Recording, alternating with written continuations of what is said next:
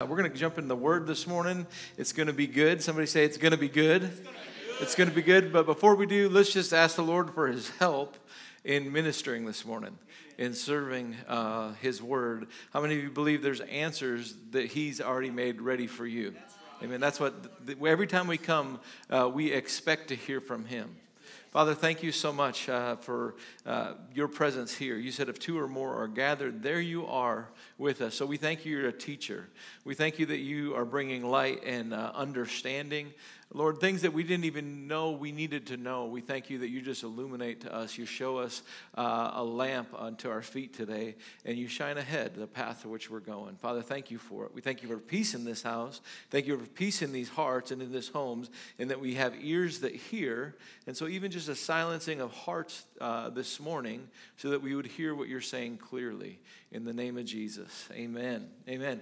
So, this morning I want to talk. Uh, we're in this series called God Loves You, and it's one of those things that we say a lot of times, and it can be very cliche, right? It can be that God loves you, and you could say the statement of how do we know? Because the Bible tells me so. But do, do we really know what the Bible tells us on the love of God? And this is one of those things that we got to hear again and again. As a matter of fact, um, in the message bible in hebrews it talks about how if you find yourself lagging in your faith this is just a, a, paraphrase of the message bible talking about who the uh, if you were to think king james more along the lines of it says when you um, for the joy set before him where christ endured the cross he said if you find yourself flagging in your faith in other words you're growing tired go over again the message of the gospel about how Jesus, what he did, and how he uh, endured uh, just over and all these things. He said, Go over that story again. And I think that that's one of the greatest things that we could do is go over the story again. The problem with going over the story again is the story of Christ is not this big. The story of Jesus Christ is it's not just this big. It's not Easter Sunday. It's, it's, it's not. It, it's, a matter of fact, the story of Christ is actually this whole book. The story of Christ is, uh, uh, is about, uh, about the character of God, which starts in Genesis and how he made everything good. And then he set man in it.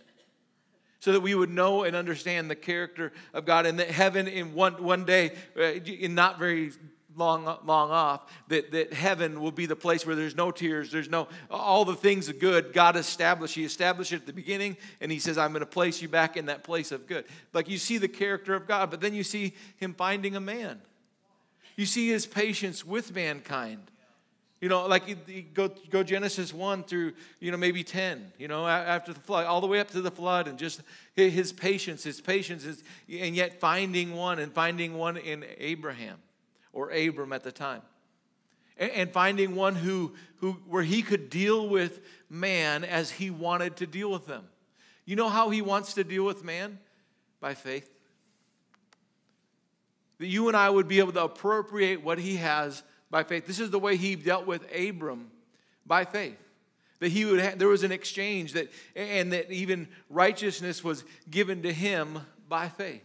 And this is it was only possible uh, that we could make lay hold of that if Jesus came. But getting Jesus here was all about God finding a man in Abram that would, would, would believe God, and it was from Abraham, Isaac, Jacob, the 12 tribes, right? All, all the way to where we see Israel today. And Jesus coming through as a son of David. It's, it's amazing. This story is amazing. It's so much greater than Jesus dying on a cross just to, and paying for our sins, raised from the dead. It's so much greater than that because what happens with just the story of the cross, it, it, it, we, we can't wrap uh, our head around or even our heart around that which we haven't heard. So faith comes by hearing and hearing the word of God. So uh, Hosea 4 6 that says that my people, they're destroyed for what they don't know or for lack of knowledge. How many of you just sometimes do when you just don't know? You just don't know. And, and so when we hear the word of God this morning, as we talk about God's love for you, God's love for you and me, we're going to just talk maybe a little more uh, uh, nuts and bolts and pieces together of what happened in Christ and what, what does God's love for you and me really mean and what, what happened in Christ if you believed on Christ. His gift to you is not just uh, heaven, but it is eternal life. And, eternal life is, if you were to look up eternal life, the, uh, Zoe, the God kind of life, is that you could have His life and His life in you here and now. See, Bible tells us that, and Paul told the, the, the, church at Philippi, he said, It is God who is at work within me to will and to do. The life of God is at work within him. Did you know the life of God is at work within you today? We, we a lot of times we don't, we, don't, we don't know it, and so we don't appropriate it. We don't draw on what we don't know. It's like we could have an account that has so much in it but, but we didn't know we had that account. It's like the, those, that winter jacket that you, you went Christmas shopping and, and you didn't know where you put that few hundred dollars and, and, and you, re, you put it back on and all of a sudden, I could have used that money so many different times, but it's a blessing when you find the, you know, that, those dollars or whatever. You didn't have access to it. Yes, you did the whole time. You just didn't know it was there. And so we're talking about the life of God that is at work within us today and, and drawing on the new. We're going to draw on the new. This is the, the, talking about the love of God. God loves you. And so we're going to learn to think new. To think new. I, I, love, uh, I, I, love that. Just, let's learn to think new. So this is our base. Um, uh, our, our, base scripture this morning is Ephesians chapter 3, verse uh, 18. He says, For this reason I bow my knees. And so this is, oh, this is so cool. You know, Paul doesn't pray, I wish that the people would be holier. I wish that they would just do better and know better. Anybody ever said anybody ever said this to your kids or had this said to you? Everybody, you know than that, right? You know better than that. The problem is, we all know better than that. We know better than that. Like you know better than to lose your temper at a ball game and yell at the refs or yell at the coaches. Like you know better than that. But knowing better never helped anybody do better. Isn't that true? Knowing better. You know better. The problem is, my know better, that what needs to happen is there needs to be a thinking better. That my desire, my thoughts would be not to, no, no, no, no, but you, you we know better. We're going to look at this here this morning and see this. But um, because as a man thinks, he will, he will be. We got to think better. We got to think a different way. And so here, Paul is telling at the church of Ephesus, Ephesians 3 8, he's praying and he's bowing his knee. Uh, he says, From whom every family in heaven and earth derives its name. And I ask that out of the riches of his glory, he might strengthen you with power through his spirit in your inner being. So he's praying that you would be strengthened from within. And he says, so that Christ might dwell in your hearts through faith, and that you, being rooted and grounded in love, will have power together with all the saints to comprehend the length, the width, the height, and the depth of the love of Christ, and to know this love which is beyond knowledge. So he's saying he's, his prayer is about you and I tapping that which the love of God, which has been shed abroad in your heart, and that from that place of His love for us, there would be an expansion. We'd have to be able to draw. We would be able to things would we, would have. Mm, how, do I say this? There would be um, different things available to just than what we used to only draw on, just ourself. He's saying, I want you to draw on the love of Christ. I want my prayer is that you would be be able to draw on the love of Christ the love of Christ, the, the love of God. And he goes on to say, he says, the love that surpasses knowledge, that you may be filled with the fullness of God. So he's saying, all of God is in you, but you and I drawing on that is vital. The next verse says, it says this Now to him who is able to do more eh, or immeasurably more than we ask, think, or imagine, according to the power that's within us. To him be the glory in the church, in Christ Jesus, through all generations, forever and ever. There is in you and me the love of God, which is able to do more than we've thought. Let me say it this way where, uh, where you have been, uh, you and I, mankind, has been limited in ability to do what we want to do. The love of God could take hold of you, or you could take hold of the love of God, and you could do what you never had access to do before or you were incapable of doing. Let's talk about even the love of God uh, for people as you go into Walmart. Wonder what the love of God could do because it was the love of God that moved Jesus, or he was moved with compassion to do something. See, the love of God in you allows you and me to do, but it allows God also to work through. And so, so many times, uh, and this is really goes back to that, that place of in life of being a, a refreshment to others. Amen. You can't refresh somebody with something that you not if you don't carry carry that thing.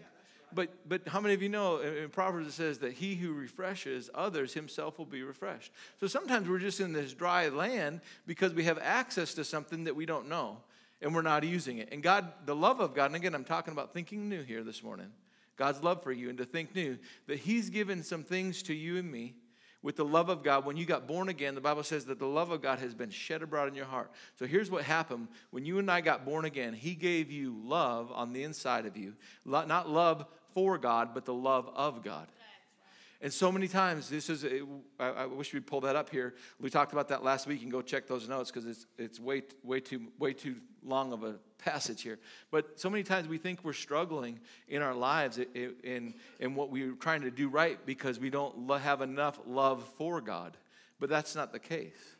That would put us back into that place of law where we're based upon what we do. No, it's the love of God that the love of, of God has been shed abroad in my heart, not love for God. So the love of God is a power that is bigger. It's, it's wider, it's taller, it's deeper, it, it, it's so much greater. And so, this is what we're talking about this morning. The, and this whole basis of the message is that we would know love better, that God loves you and me better. And so, love did something. It didn't just send his Jesus for your for a payment. It, it, or in other words, it did that, but that did a whole lot more than what I think we grab or grasp. So let's look at this this morning. Um, and, this love that God sent in Romans 5 8, he says that it was demonstrated while we were still sinners. So we don't, we don't live for love. We're not working for love. You, God's love has been, the love of God has been given, the love of God has been given to the world. It's, it's given. Now, the question for you and me is just will we receive it? The reception, uh, and this is, uh, uh, you'll see in, in uh, Corinthians where he says, now, you know, as a body, uh, the body of Christ, as a believer, he says, now you go and reconcile you go and, and in a sense, beg people to come back to, Christ, to God through Christ. Anyway, so um, here's what's going to happen today. Uh, there's going to be some. There's going to be some change of mind. Matter of fact, repentance. I was going to talk about this last week, but um, how many of you ever heard the word repent? Right. And when we think of repent, oftentimes we think tears.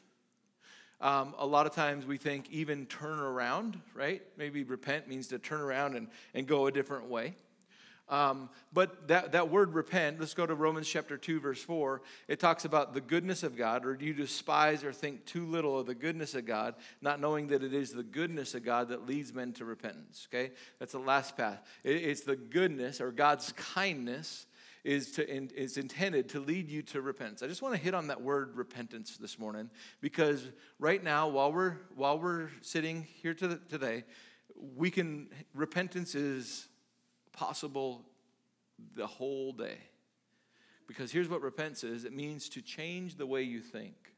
So we don't need, so many times what happens is, is we're thinking that uh, we, we leave repentance for, you know, the, the, the bad sin that we did. But repentance, and let me just define it in the Greek, it means to change mind. It means to change your mind and, and, and therefore change your inner man. See, you don't change the inside unless you change here.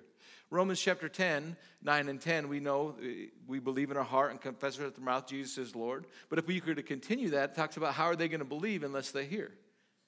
So, in other words, your believing, which is of the heart, cannot take place unless you hear. And then it goes in Romans 10 17. Now, faith comes by hearing, faith comes by hearing. So, unless you and I hear, right, unless you and I hear something, we can't believe something. This is what Romans 10 uh, all the way through 17 is talking about. It's talking about bringing the good news of the gospel that you can't believe here what you didn't hear here or what you didn't get from reading the word. You can't believe what when you eh, without a word. You can't believe without a word. And this is why words are so important But he says this he said, the goodness of God is to lead you to a change of mind. Or when you see the goodness of God, what happens is when, when, when you see his mercy and his kindness, you, what you're really doing is you're hearing a word and it's causing you to think different. You're hearing the gospel, you're thinking different. Wait a minute. It wasn't, I'm not, God's not good to me based on my works? Nope. Okay, that's just kind of weird. Because, like, this is how we reward our kids we give them ice cream because they were good. Isn't this true? This is, a, this is a radical way to think that you and I would get something good based on nothing that we've done. So, today, as we're talking about thinking new and we're going to read, read the word, you have the opportunity to go, uh, I just don't know about that. Or you have the opportunity to repent. In other words, to change the way you think and say, you know what, Lord, I've been trusting my hand and I haven't had trust in you for finances because I haven't given this.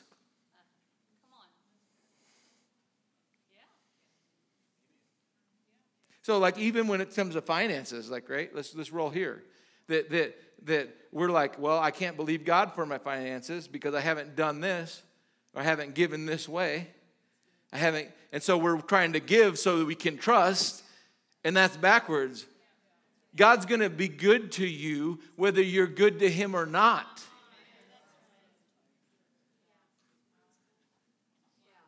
So, so Pastor Nate, well, does that mean you're, if you if you tell everybody that God's going to be good to you whether you give to Him or not, well, then I'm probably just not going to get you to give, right? This is, this is, this is where like you and I, we would tell somebody about the, the, the, grace of God and his love for you while you're a sinner, then you're just, you're just going to be telling people it's okay to go sin and live like hell. Yeah, yeah. That's what we're telling the church. You know, you need to kind of control them. Uh-huh. But love doesn't control. Right. Love gives this choice. It's your, your choice. This is a you're gonna we're gonna look at the word fully, and you're you're gonna go, God, this I, I, there's some things that I've been not thinking new.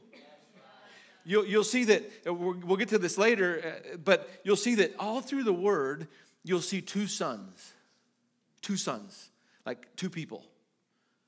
You know, two. Let's give some right, right from the beginning. You got Cain, okay, and then right after Cain and Abel, you got, come on, Isaac and, come on, not Isaac and Jacob, Isaac and Ishmael. And then after Isaac and Ishmael, you have Jacob and Esau, right? So you, you, you look through the word and you see that there's like this, there's like these tandems that go through the scriptures and then you go all you go to the new testament and you got like the prodigal son right and you got uh, the servant son right so you got this like one who deserves nothing and really should get, and then one who deser- is deserving of everything, but yet has received and draws on nothing.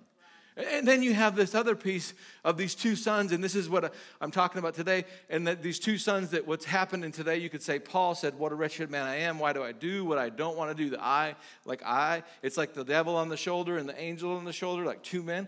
Or say it like this um, the old, If any man bees, bees in Christ. if, any, if you talk this fast, you'd probably, you know. If any man be in Christ, if any man be in Christ, the old, so uh, uh, there's a man here. The old is gone, the new has come. The problem is, is when we have both sons in the house, we have both sons, we live from both sons, we live from both identities. We've been living from both identities for far too long. And so what happens is, is we don't know how to draw on the love of God. We only really know how to draw on our wages, but the problem is when we draw on our wages, we've fallen from grace. When we draw on our wages, we, we, we've fallen from grace. It actually says that in Galatians. He says, "Why? Why are you going to get uh, going to get uh, circumcised? Why are you going to get circumcised?" I think it's Galatians five. He says, Don't go get circumcised. That, eh, eh, that, that, that, if you're of faith, that profits you nothing. As a matter of fact, all that does is prove that you no longer are drawing on faith and the grace of God. He said, I wish there's people that are tell, telling you to be circumcised. This is crazy. If you read the Bible, he said, Go cut your own thing off. Paul said, I wish they'd go cut their own thing off. That's what it says. I'm like, Paul, You're like, like, you know, sometimes Paul, Paul's extremely radical. Said, I've been beat up. Look at this. Look at these scars. Look at this. I've been left for dead. I've been shipwrecked. I've been, y'all, you don't got, and he, Paul's amazing. And yet, he, what he draws on is the love of God. He could, he had so much to draw on. He's like, Yeah, I got this one back here, and this happened here, and this happened here, and I did that, and I did that. He said, But what I'm drawing on is the love of God. Let's keep going here. So, uh, today we're gonna we're gonna have uh, some some repentance can go forth, some change of mind. It's like you know what?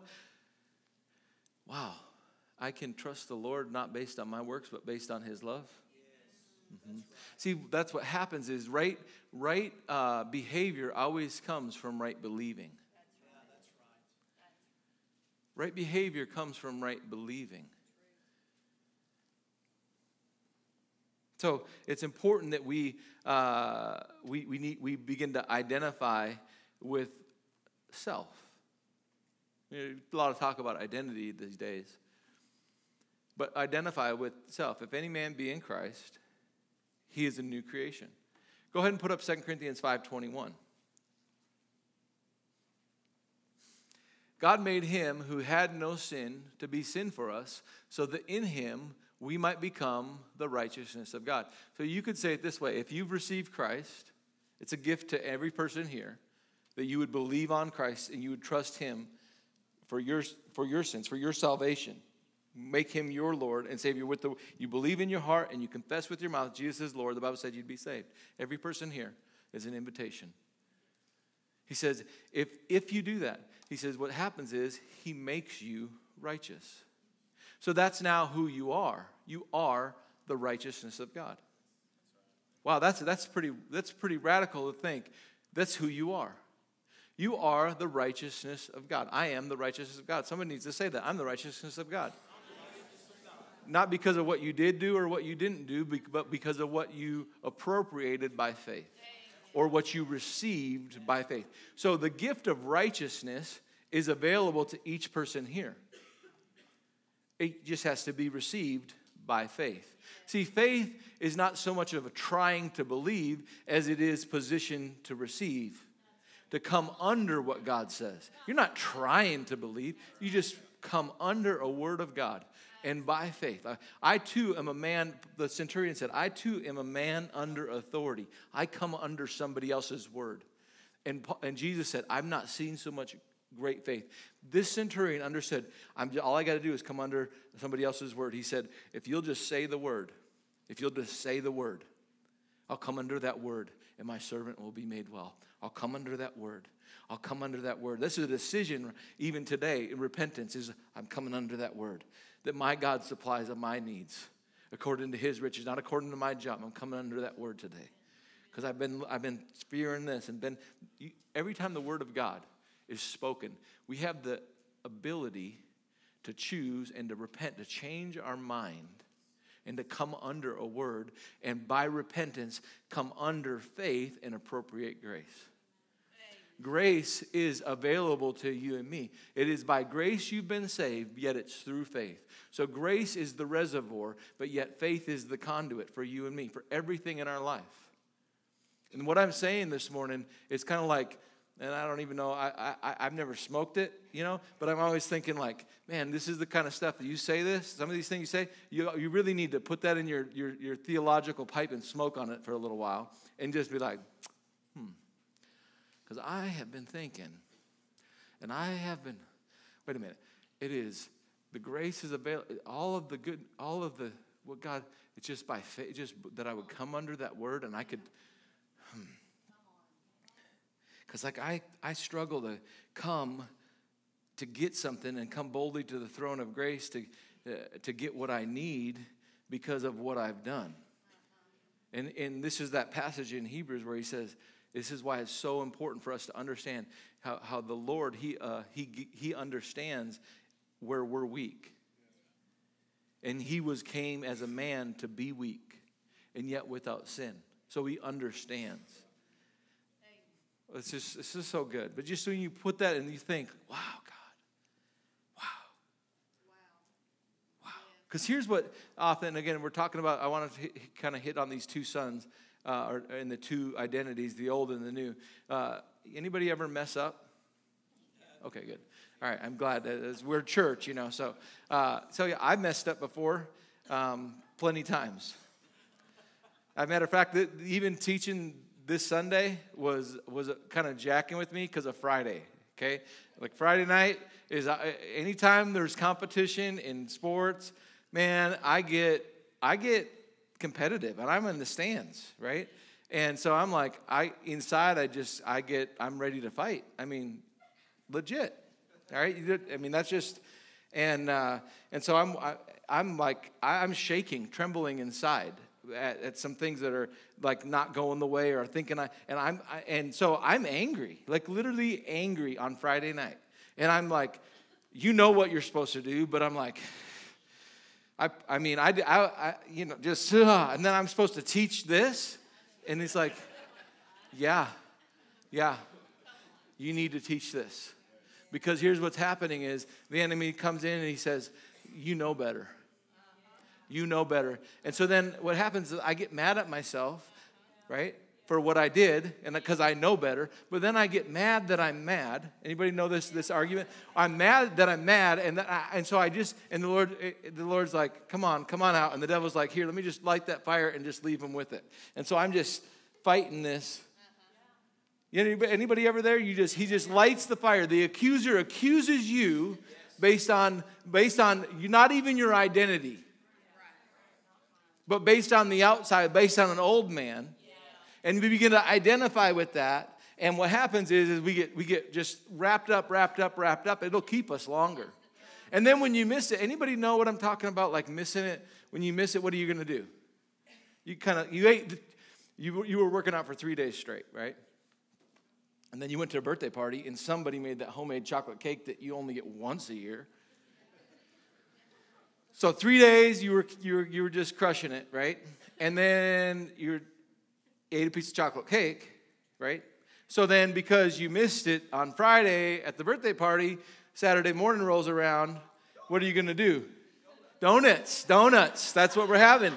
Donuts. All the way donuts. And you know, gosh, you know, it is the weekend. You know, it was Friday. We're going to hit this back Monday. You know, I already missed it. I already missed it. So guess what? You know, like, uh, what are we having? Pizza. Let's have some pizza. And, and we just missed it. So let's just say it this way I already missed it. I already lost it. So what the?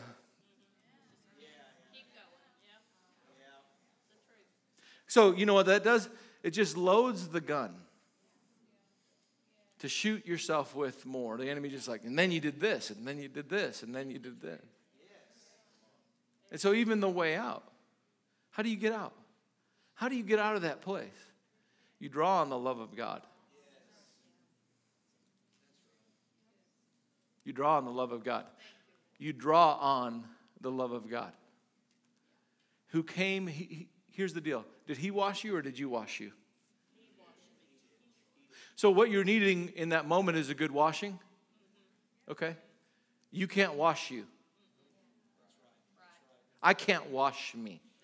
You know what I need? I need to draw on the love of God because only in that place can I yield to the, the, lo- the love of God for others. It's interesting how all of this, everything that the Lord has told you and me to do, is two things love the Lord and love others.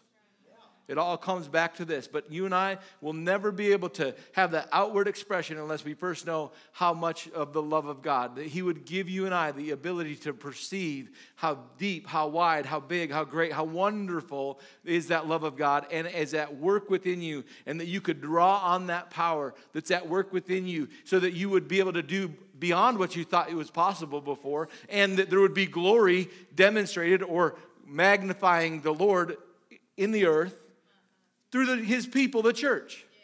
That was Ephesians 3 18 through 21.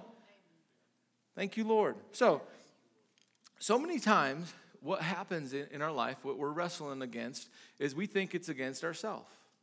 We think it's against others. We think it's flesh and blood. We think it's natural things that we've done or not done. But I can I tell you, it's not a natural thing. Listen, Ephesians chapter 6, 10 through 12, it tells us, uh, let's go ahead and go there real quick. it, tells us, um, it we'll start in 10 uh, this morning, Ephesians 6 10. And it, it's interesting how our, our, our battles, they're not flesh and blood. And the reason he tells us this in verse 12 is because so many times we think it's flesh and blood. He wouldn't have to tell us it's not flesh and blood if we wouldn't think it's a natural thing. So he says, finally be strong in the Lord and, and what? His mighty power. Hold on. Just leave that right there. Did we not just read about Paul praying for the church to be strengthened with might on their inner being, like a mighty power? He's, here's the, the mighty power you and I need to be strengthened in is the love of God. This is the this is faith, hope, and love. The greatest of these is love. In love is not uh, something you and I are to work. It's something uh, it is to work within us. It's something that's to work within us. It's a power. It's the power of God. It's his, whose power? It's His mighty power that's that's in us. Okay. So now he says, "Be strong in this mighty power." Next verse. Put on the full armor of God talking about the Word of God. Put on that armor of God so that you can take, a, and you'll notice all the way through the end of Ephesians, he talks about the sword of the Spirit, which is the Word of God. Like all of the things, talking about the Word of God, how the Word of God is your weapon. What he said, not what the accuser says, but what he says, that's your armor, that's your weapons. Okay? So he says, be strong in, in, the love of God. Be strong in his mighty power. Be strong in that. And, and the love of God is why you can trust the word of God. He loves you.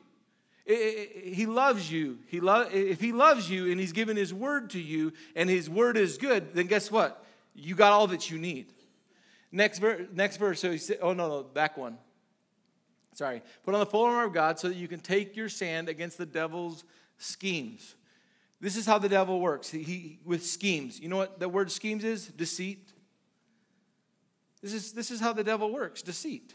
You know what he gets you and I to begin to identify with? Our old self. Our old self, instead of thinking new. Yep. If any man be in Christ, what is it? It says the old is gone. Yeah, it sure looked, yeah, but it, if the old is gone, how come it's still all here? Because it sure looks like this. He said, if, but hold on, what does the Bible say? If any man be in Christ, the old is gone, the new is come. So if you and I, here's the cr- crazy thing is, is chickens cluck, ducks quack. Maybe we just need to be righteous. And then guess what we would be? Righteous. In other words, uh, when we identify with who we are, the, the clucking starts. When we identify with who we are, the quacking starts. In other words, we're trying to work the outside in instead of letting the inside out. The love of God made you and I new, and our identity is I, I, am, I have been crucified with Christ, yet nevertheless, it's not I who live, it's Christ who lives within me. Paul quotes this you and I are to be living from the inside out, not from the outside in. And so this starts with you and I identifying with who we are in Christ. We got to learn to think new instead of thinking old because Proverbs tells us this as a man thinks, so is he. Proverbs 11, I think it's 11:23. As a man thinks, so is he. This is talking about if a man says, go ahead and eat, but really he's thinking, I hope he doesn't take very much right? He's talking about as he thinks in his heart, that's actually how he's going to be. That's how he's actually, his, his disposition is towards you, as he thinks in his heart. So we got to, again, my outward actions are going to be are going to be governed by how I think. This is the Romans chapter 12 verse 2. Be not conformed to the world, but be transformed by the renewing of your mind. If you and I want to have the inside come out, then what do we have to do? We have to change the way we think. This is why to, when we hear the word of God, repent, we can change all, all the whole time we're teaching, repentance can be taking place. Changing the way I think. I can, Be not conformed to this world, but be transformed by the renewing of your mind. That word transform, metamorphosis, the same as a butterfly. The, from the worm, a, a butterfly. From the inside out, that there's something that's on the inside that come out. How do I get the inside out? I gotta think new. The love of God has made you new. It doesn't say, and then he says, you, I don't have this verse for you, but he says, work out your salvation. You can write this down and Google it. Work out your salvation in fear and trembling. That the work out, that, the, that that which has been done, you're born again. Again, you are a spirit you have a soul and you live in a body. When you're born again, your spirit's made new. If you'll think new, what happens right here, you begin to think new, your soul, your mind will come all the way out to the body and you'll begin to act new. The problem is we're trying to get the body to, and, then, and we never can really make it past here because we look at our body and we keep staying over here. When if we realize and we begin to identify with the new, that I have been made new, yeah. then what happens is I, be, and, I and I'm no longer conformed from the outside in, yeah. pressure, yeah. but I'm transformed by the renewing of my mind. So, what do we got to do? We got to think different. Yeah. Okay. Oh, thank you, Lord. I'm hoping you're hanging with me this morning. I know I'm giving you a lot. Um, so, here we go. Did you know? Uh, well, it's, it's really, really important that, again, we recognize that we're not. Let's go to. Um, hmm, hmm. Let's go to Ephesians chapter 2, 1 through 6. Ephesians 2, 1 through 6. So we are talking about um, wrestling, or not wrestling, but he says uh, you don't fight against flesh and blood, because sometimes we, we, we just, we're trying to do the outside in, right, instead of the inside out. That's what, but we got to be strengthened with the power on our inner man. God made me new. God loves me, he, and so he made me new. Okay? Uh, but the reason uh, this is so important about our fight. Let's again, Ephesians chapter 2. And you were dead in your trespasses and sin. Ephesians 2 1. I was. That's who I was. Somebody said, I was. So if you're if you're in Christ, you were. You were dead. You're not dead. You're not dead anymore. Now, no, he said, in which you used to walk. Some of say, I used to walk. Uh, I used to walk like, what do you mean, like yesterday or this morning or last night or like, what are we talking about? No, I used to walk. This is, again, we're talking about learning to think new. Okay, you used to walk when you were conformed to the ways of this world and of the ruler of the power of the air. How does the, how does the enemy work? We, we just saw this. He works through his lies and his schemes, deceit. So, what does he do? He brings a word. This is how he brings a word for you and I to identify with and say, Look at, look at your old self. Look at what you just did. Look at here. He, he says, Look at here. Look, look at here. Would you just look at that? Oh, thank you, Lord. All right, anyway, he said, Conform to the to ways of the world and to the rule of the power of the air, the spirit who is now at work in the sons of disobedience. All of us used to live, live among them at one time. We all used to live that way. One translation says it this way we all used to live according to that. So that means we're, we're not to live according to that. If you're in Christ, you're not to live according to that. You're not to live according to the outside. You're not to live according to the way that the prince of the power of the air that would bring a word and say, Would you look at this? Would you look at that? Look at the apple. Look at this. No, how are we to live according to the word of God?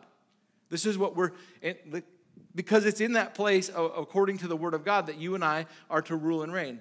All of us used to live among them at one time, fulfilling the cravings of our flesh, indulging its desires and thoughts. Like the rest of us, we were by nature children of wrath, outside, flesh.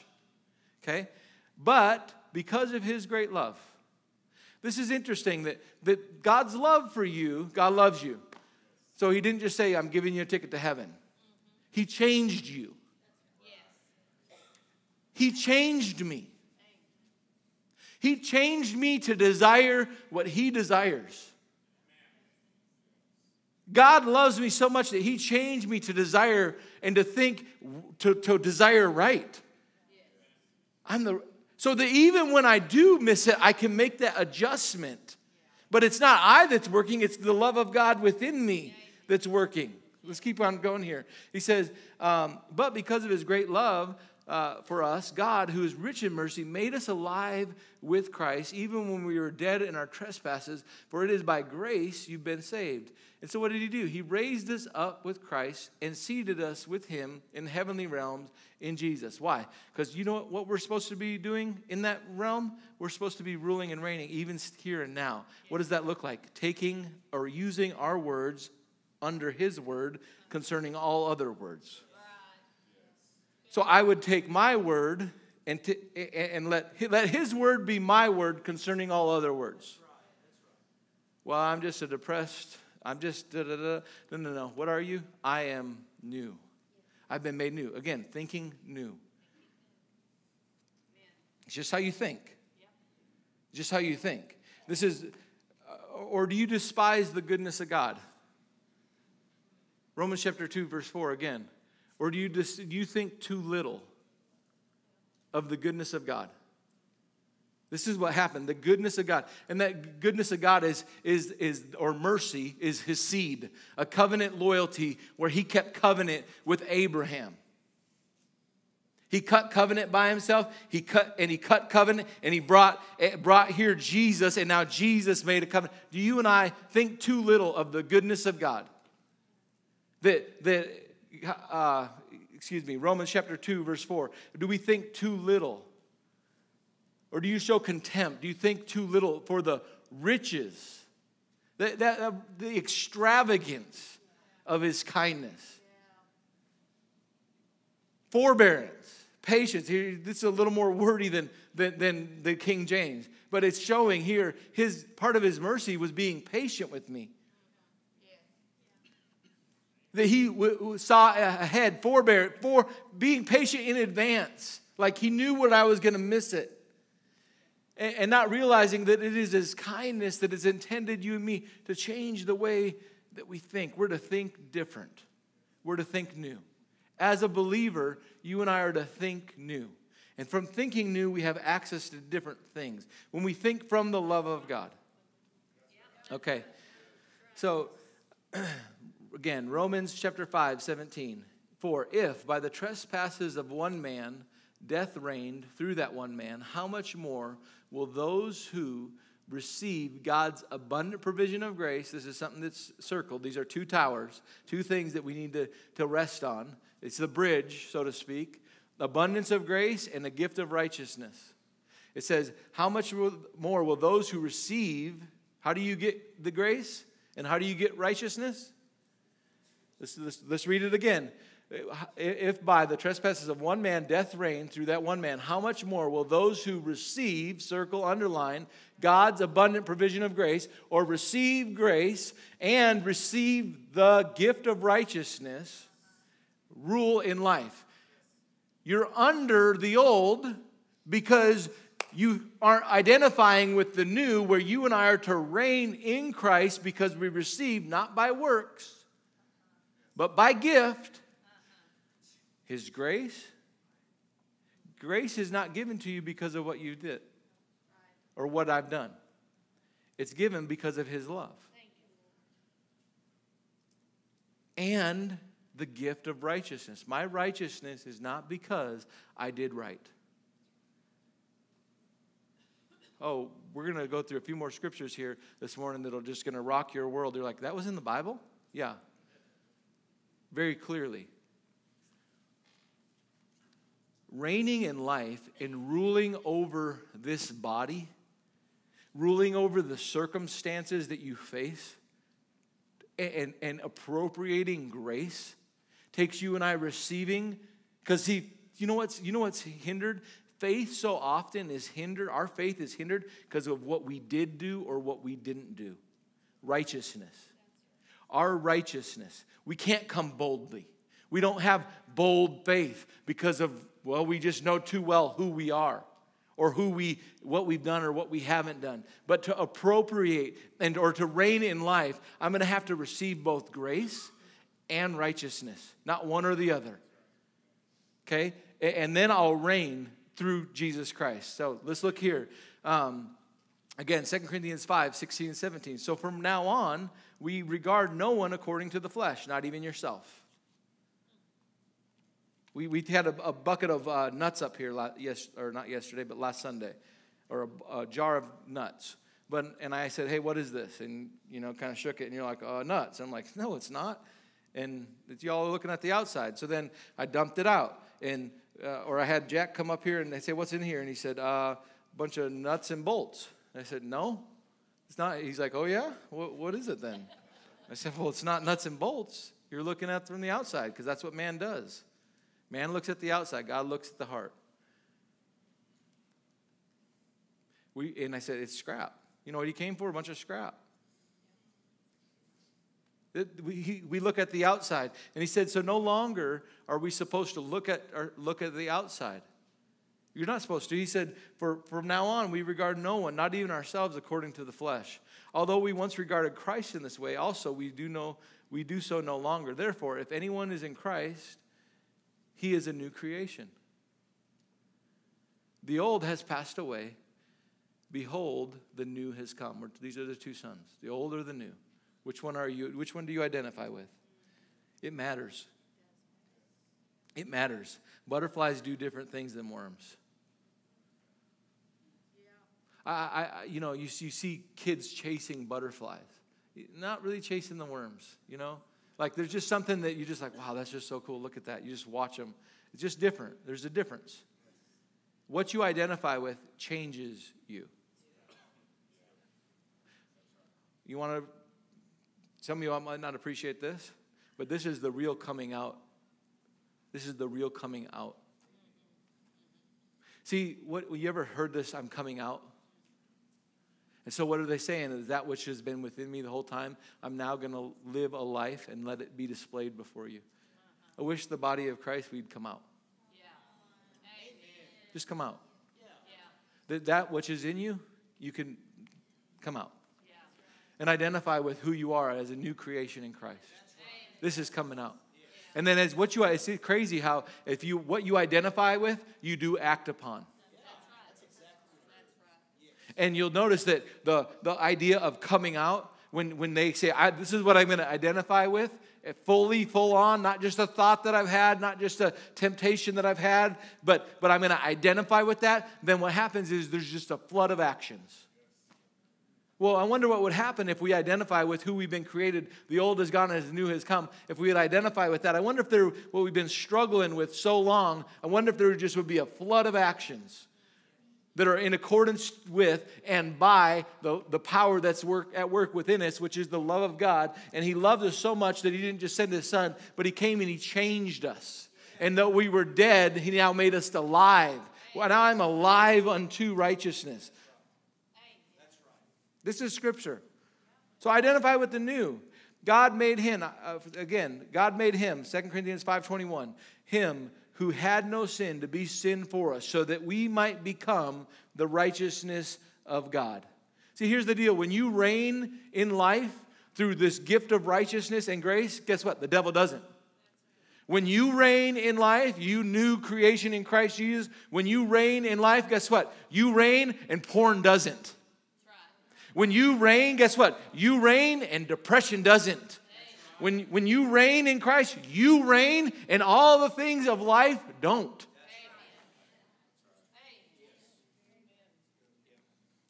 Hebrews chapter 5, this is where it's good. This is what I wanted to get to this morning. It's going to rock your world. It'll pick, set us up for in a couple weeks when we pick back up.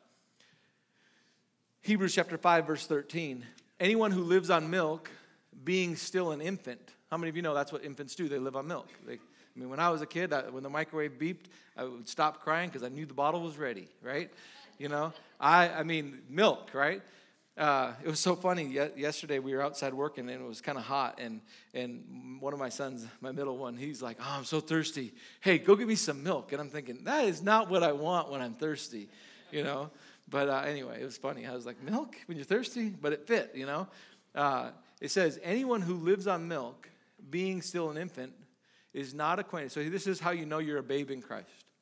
You might have been saved 40 years.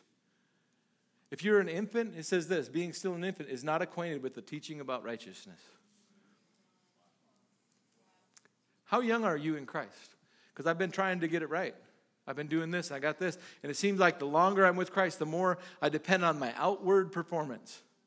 He said, You're, you're, you're moving away from, you're moving away from. Uh, Paul had to have some words. Mix, he mixed, didn't mix words when he came back to Jerusalem to talk to Peter.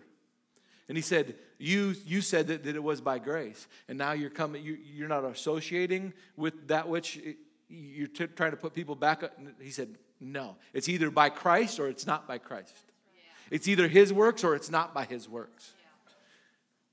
He said, Anyone who's a babe, it's because they, they, they, they don't know the teaching of righteousness. My righteousness is not based on my works. My righteousness is based on Christ's works, and it was given to me. And that gift of righteousness, it would be like this, this sign. If I just had a sign, I'd go put it on, uh, I'd go put it over here uh, on Samuel, and I'd just put this sign around his neck and say, righteous. I'd come over here to Talon, I just would put this gift on his neck and say, righteous. And you just would go, mine? And or you could say, mine. See, this is, I don't deserve this. You're right. But it's yours. Will you receive it? You're right. You don't deserve it. I don't, I don't deserve it. I don't deserve it. You're right. But it's mine. But it's mine. And at some point, you and I have to say, It's mine. That righteousness is mine. God gave that to me. That's mine. I am the righteousness of God in Christ Jesus. And when I identify with that, that's when the new comes out. That's the coming out party, so to speak. The coming out, what is new in me coming out. And I have a desire to live from the new. And I identify from with the new that I am a new creation in Christ. So identifying, and that's growing up. That's growing up. When I have the teaching of righteousness, that's growing up in Christ. Growing up in Christ. It's not, growing up in Christ is not about getting things right. It's about having righteousness and having a righteous understanding and living from righteousness instead of for righteousness. That is the beginning. Righteousness in Christ not of works, lest any man should boast. You got nothing on me, I got nothing on you because it was Christ.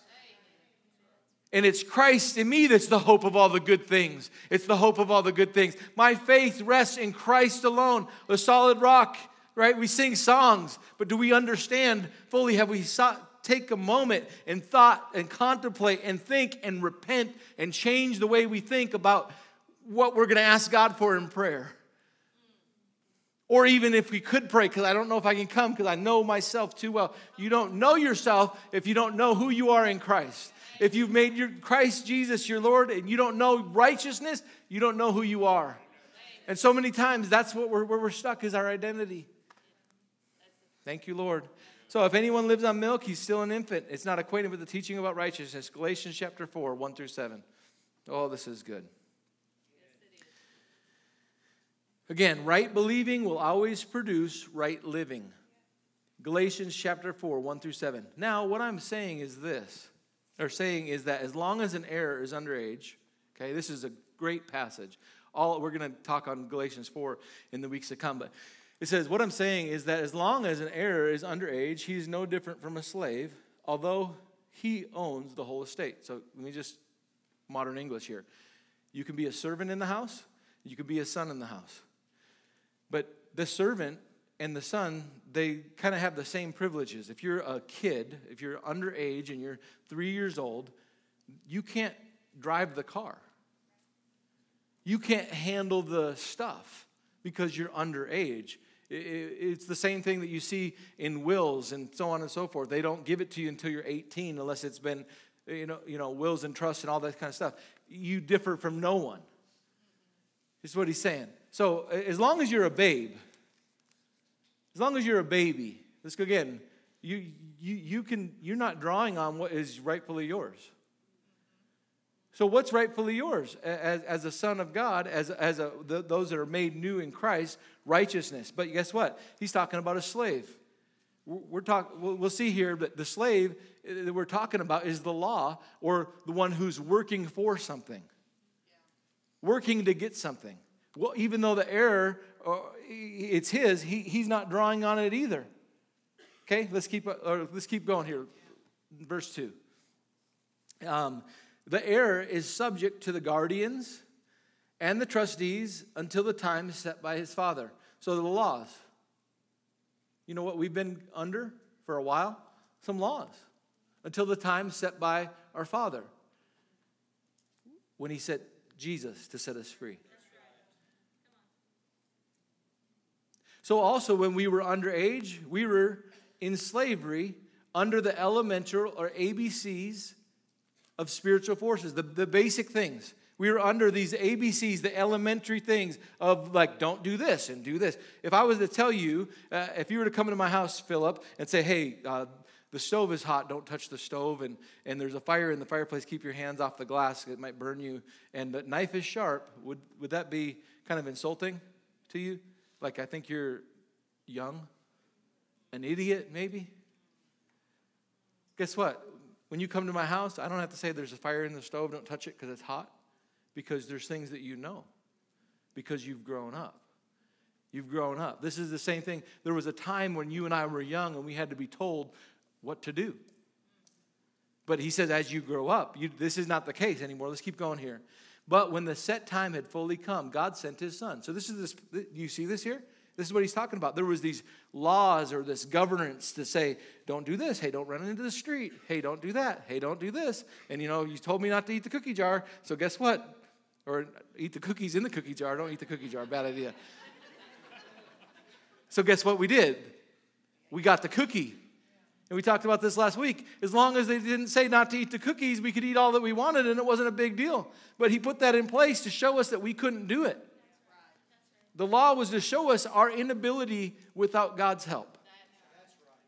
And so, when the time, verse 4, when the, when the set time had fully come, God sent his son, born of a woman, born under the law, to redeem those under the law that we might receive adoption to sonship. Now, what is that? What is he, what, why? It's interesting. He talked about how you were a little child in verse 1, and now he says you're an adoption as sonship. Or in other words, you now are able, you're, you're grown. You're grown. You're, you're, you're, it's kind of like a bar mitzvah that you would be, now you're considered a man. You know, they we don't do this so much in our American culture. Like I see, like in Hispanic culture, they they have like for girls they have the quinceañera or whatever they call. I can't remember it's called. Quince, yeah, that thing. So they have that, and it's just like it's a it's a big deal.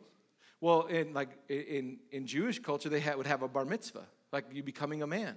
This is this picture of you've become a man. You've become a son in the house. You're not just a child, you're now a son. You, in a sense, are like the prodigal son and the one who comes of age. And he says, Father, I would like all that which is a portion to me. This is this picture here. So he says, again, back to verse 4 But when the set time had fully come, God sent his son, born of a woman, born under law, to redeem those, verse 5, under the law, that we might receive adoption to sonship. To sonship, okay? Because you are his sons, God sent the spirit of his son into our hearts, the spirit who cries out. So there's something inside of you as a son that's crying out. I don't have to put some restrictions on you. I don't have to say, if you don't give, you won't be blessed. I don't have to, no, there's something on the inside of you crying out.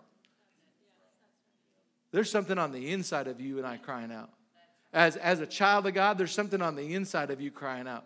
And this is why you, even inside, you don't like sometimes the things you do uh, that you, you don't want to do and you do because inside of you, there's something crying out. What it is, is righteousness that's crying out saying, That's not me. That's not me. And I renounce that. And I declare, I, this is who I am in Christ. And he goes on and says, verse 7 So you are no longer a slave. Not a, you need to do this and you need to do that, you need to do this. But God's child, and since you are his child, God has also made you an heir. See, an heir has an inheritance. And so we need to learn to draw on. This is what that Ephesians chapter 3, that you and I would draw on and that we would know and come to make our own, not by just knowledge, oh yeah, but to know and make our own all of the love of God, all that's available to us. We got to learn to draw on that. I'm going to finish up with three scriptures here. For it is God who, Philippians 2.13, for it is God who works both uh, to will and to do. He's at work in you. Who's working in you to will and to do? God's working in me. God's working on me. The desires that I have to do right is not my, is not my own self-righteousness. It's what He's made me. It's God in me. What's God in me? The love of God in me. The love in God, of God in me is why I love, have love for God. The love of God in me is why I have the love for God. The loving God, the love of God in me is why I have the love for you. It's why when I get upset or use crosswords or whatever it might, might be, I violate. I feel, vi- I, I feel like I violated my heart. Why? Because the love, and I say it's my heart. Why? Because the love of God is in me. And that's why I have the love of God for you. Romans chapter 16, 25 through 27. I want you to see these two verses, the last two verses. This is so, so vital, and this is why we're spending time on the love of God, because this is this is infant milk. This is this is what we got to get. This is how where we grow up. Now to him who is able to strengthen you how do you get strengthened? To strengthen you by my gospel and by the pro- proclamation or proclamation of Jesus Christ. So here's what happens when you're weak, when you, when you and I are weak, what do you and I need to be? We need strength, right? Proclaiming Jesus Christ and his righteousness for our rags it gives strength to you to know the this is giving strength to you to draw on and to live from who you are, the new, to think new. Right here. So when I proclaim, now to him who's able to establish you accordance with my gospel, the message I proclaim, he's able to establish you. I am the righteousness. Like it, that's who you, it, that tree's planted there. It's not moving. It hasn't changed. Instead of just constantly like this, like backslidden, slidden, slid, like we backslide. Do we ever slide forward? Because we were given righteousness. How about we just just take a step into the new instead of a sliding back. Let's just step into Christ and say, Father, I receive your righteousness today because of what Jesus did for me. I think, Lord, where I've thought old and where I've been approaching you based on my works, Lord, I just, I change my mind. And I choose to choose you. And I choose to receive the gift of your abundant grace and the gift of your righteousness so that I could rule in this life. And no longer is all of this holding me. No, I hold it. I've, I've been seated in Christ. So he goes on to say this according to the revelation, we'll read it with you, same thing. In keeping with the revelation of the mystery hidden for, for long ages past. So there's this picture of Christ. It was, it's, not, it's not just out there. And even what we're talking about, it's like, wow, this is in the Bible? Yeah, this is in the Bible. He says, Now to him who's able to keep next verse.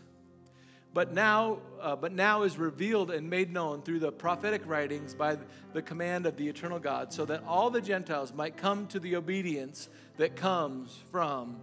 How does obedience come? From trying hard? No, what does it come from? What you come under, what you believe.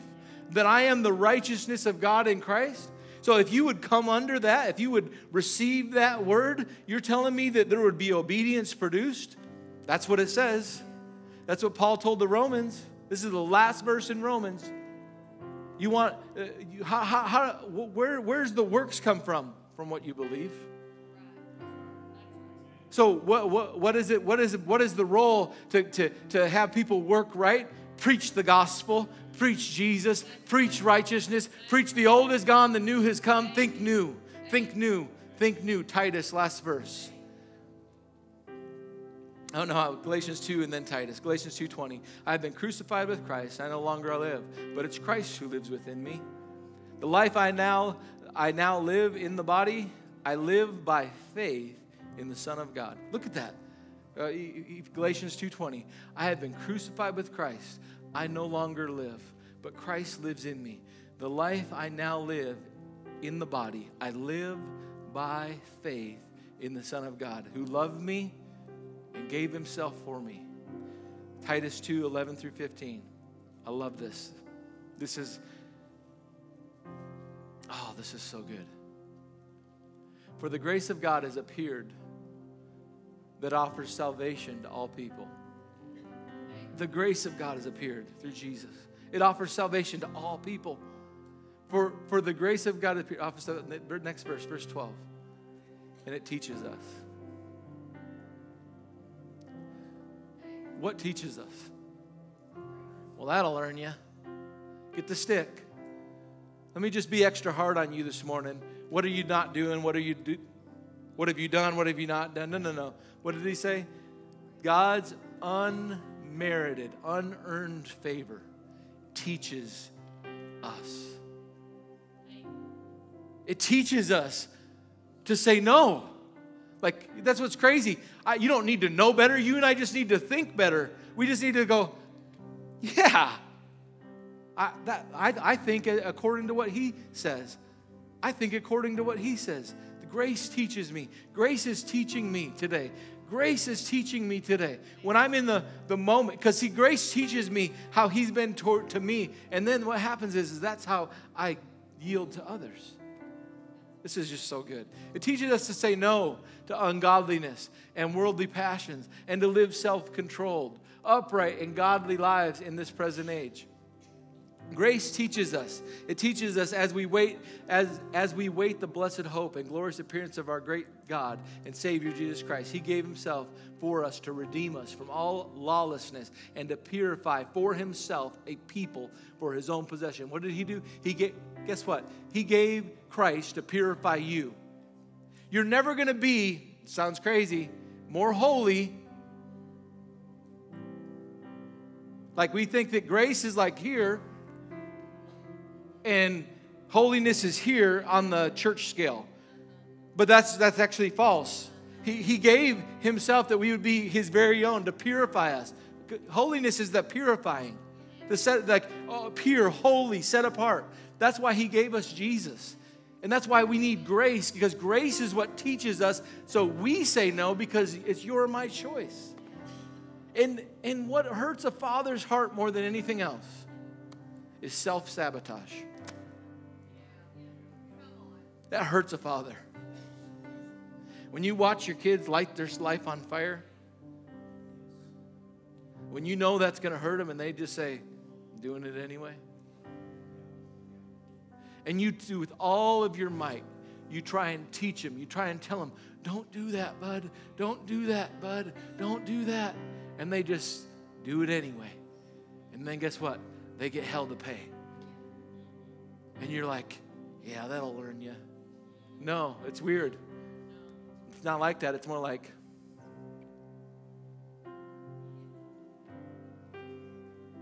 I hate that. I hate that. I hate that they're experiencing something they were never meant to experience. I don't want them to experience that.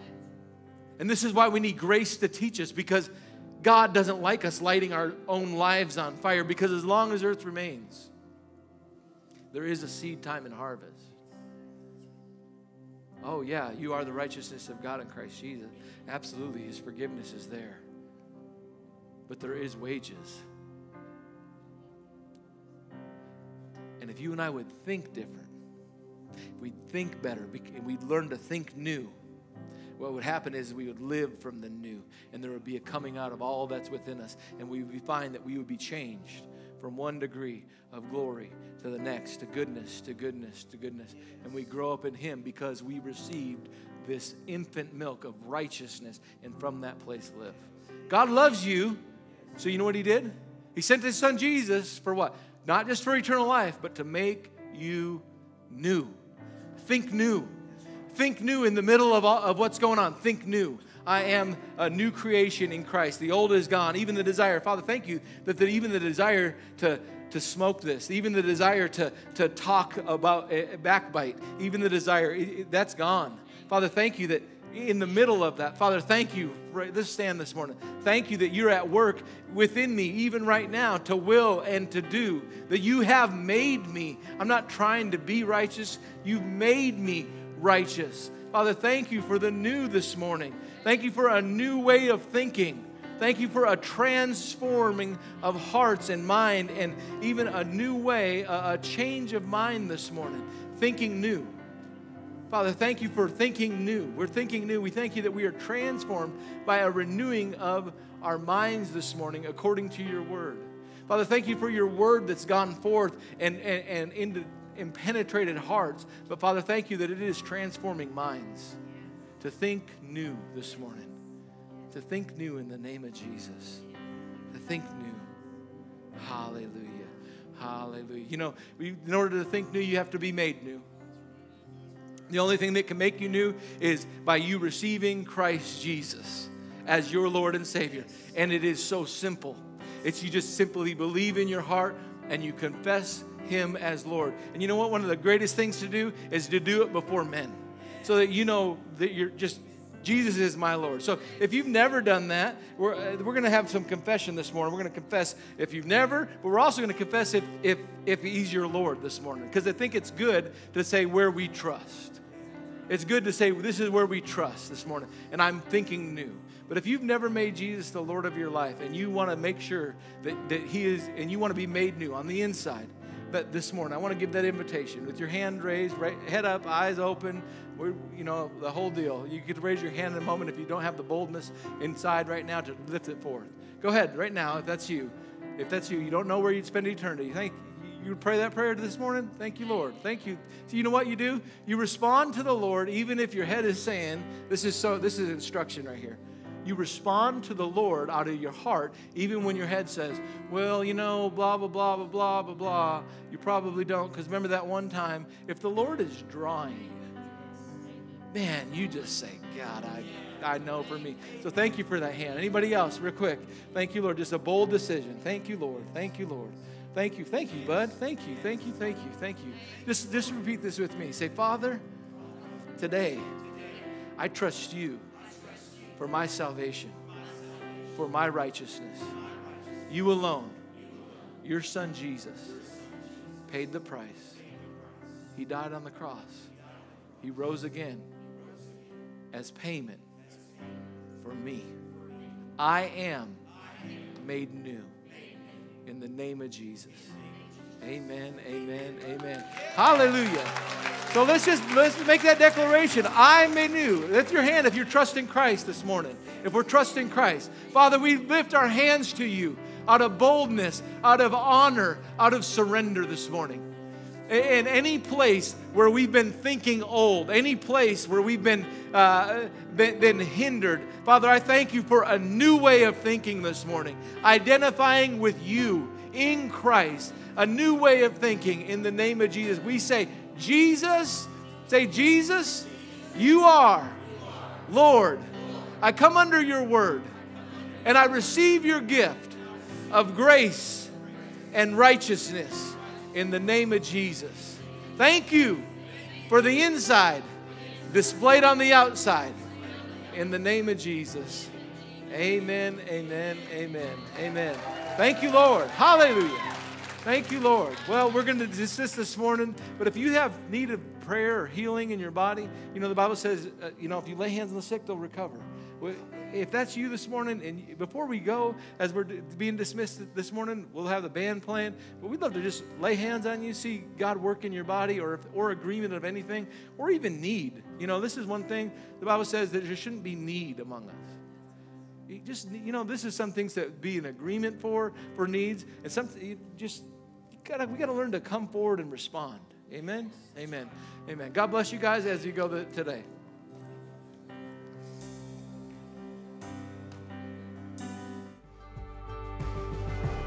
Thank you for joining us. We hope you were strengthened and encouraged by the Word of God. If you need prayer, feel free to text us at the number on the screen below.